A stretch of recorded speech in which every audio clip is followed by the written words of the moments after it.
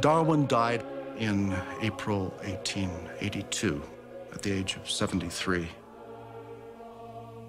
The family thought he would be buried in the parish churchyard. Darwin had said months before he died that he would have to look forward to it as the sweetest place on earth.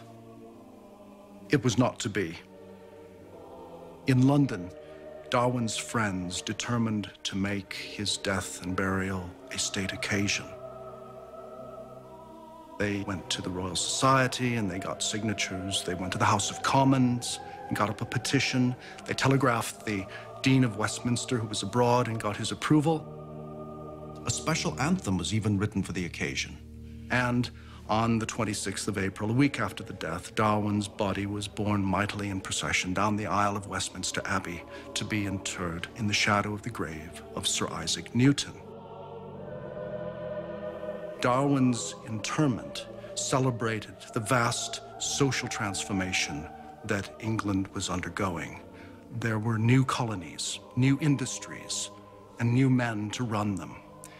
Darwin's body was enshrined to the greater glory of these new professionals, for he had naturalized creation and delivered human nature and human destiny into their hands.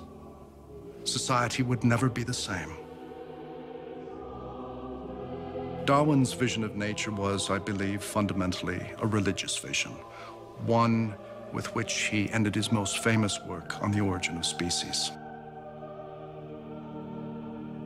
There is grandeur in this view of life, with its several powers having been originally breathed into a few forms or into one, and that whilst this planet has gone, gone cycling on according to the fixed law of gravity, from so simple a beginning, endless forms, most beautiful and most wonderful, have been and are being evolved.